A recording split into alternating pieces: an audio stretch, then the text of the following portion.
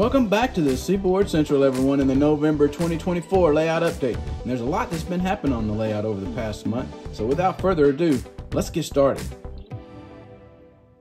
First up is a new unit for the roster. This is a ScaleTrains SD40-2 that actually replaced an older Kato SD40-2 that I sold off, which had the same number.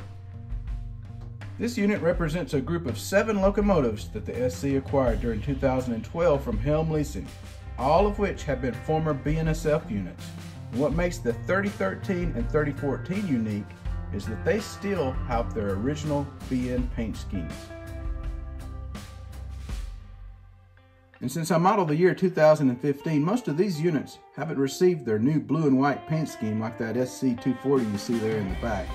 And to me, that makes them more realistic.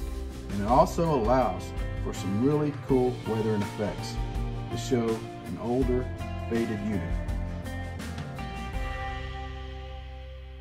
So let's fire these two up and send them out on train 480. What's really cool is both of these units have different sound files. They were recorded from two different SD40-2s and have them perfectly speed matched and they run excellent together.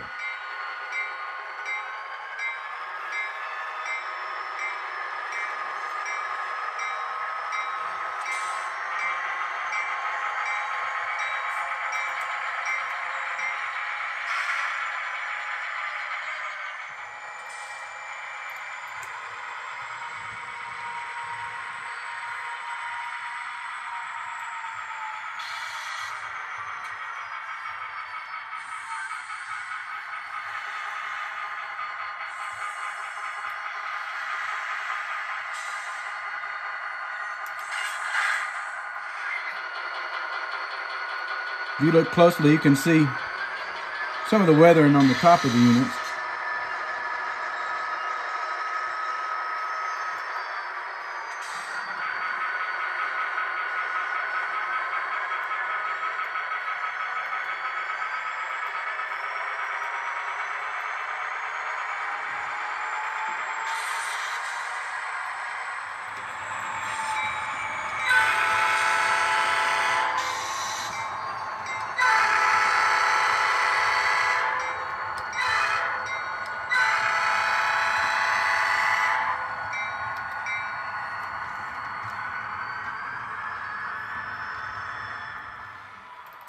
Another thing I've done is weather up a new caboose for the Seaboard Central.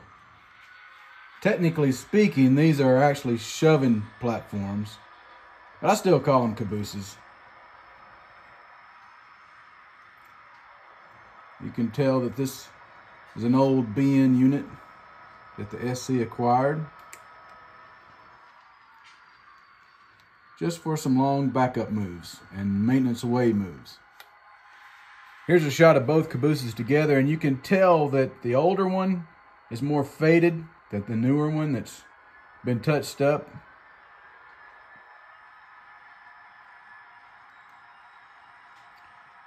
Things like this make the railroad a lot more exciting, in my opinion. We get one last shot of the SD40s. We'll move on to other things.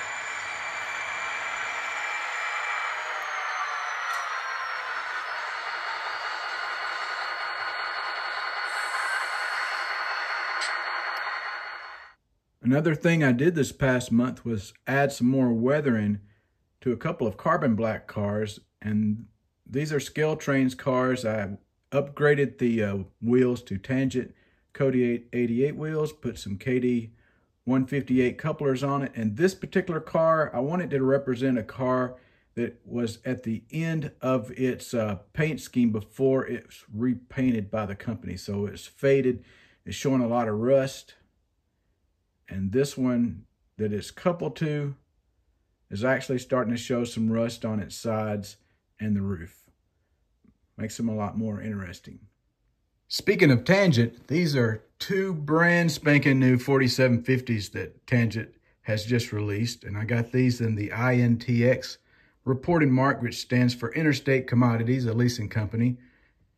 These were actually former UP cars And I just looked, I found a couple of prototype photos of the exact numbers of cars that were running around during 2015, and I tried to copy the weathering pattern on them.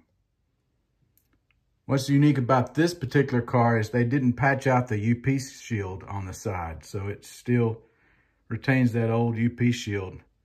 You can see, if you look closely, where the INTX reporting mark is, is where they patched the UP logo out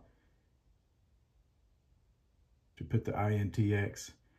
Here you can see the bays on the bottom. I tried to weather them up. They even have some splatter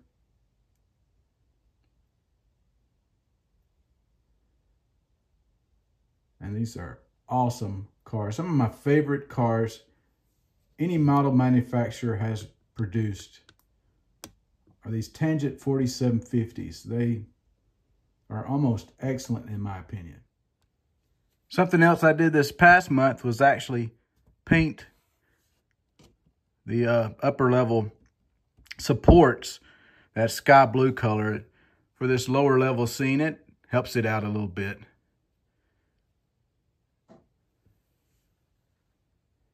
It's a really cool scene, even though it's uh, not going to be seen that much, but that definitely helps it, the appearance. Now this is brand new from the last update. I've added another backdrop panel here. And uh, I will be putting photo backdrops here. So, but for right now, I do have them painted sky blue. I need to put some touch-up paint on them. And the rest of this stuff I've been working on is the road bed. And this right here has been time consuming, trying to get this curve exactly right. So this actually involves an elevation, and this is one of the tightest curves at 24 inches. But like I said before, it represents a leg of a Y, so Ys are known to have tight curves, slow speeds going around them. That being said, the goal for next week is actually to have track down. And the next week's video is going to be the inaugural run, where I am going to run a train from the lower section up the helix and connect to the upper level. So be sure to tune back in for that one. Should be very exciting.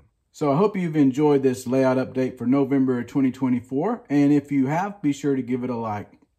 So until next time, I'm Tim Garland. Thanks for watching the Seaboard Central and happy model railroading, everyone.